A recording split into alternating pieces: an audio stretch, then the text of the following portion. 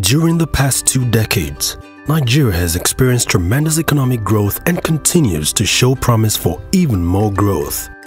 But even though Nigeria has witnessed unprecedented economic growth, problems of insufficient and epileptic power supply have continued to limit industrialization and would, on the long run, our ability to sustain economic growth.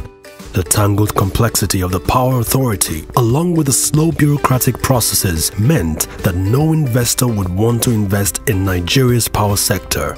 The power reform policies of the Jonathan administration has, however, turned our fortunes around. Nigeria is now steadily and significantly improving her capacity to generate and distribute power by unbundling the power sector and by the introduction of private sector investment, the tangled mess of both infrastructure and management has been replaced by more efficient regional hubs. This is steadily improving our capacity for power generation and supply in many areas.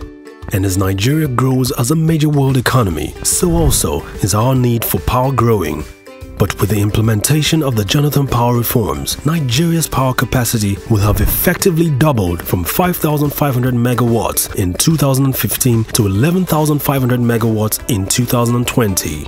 The fundamental nature of the restructuring in the power sector by the Jonathan administration has not gone unnoticed by the international community as noted by this quote in a recent article of Washington Times.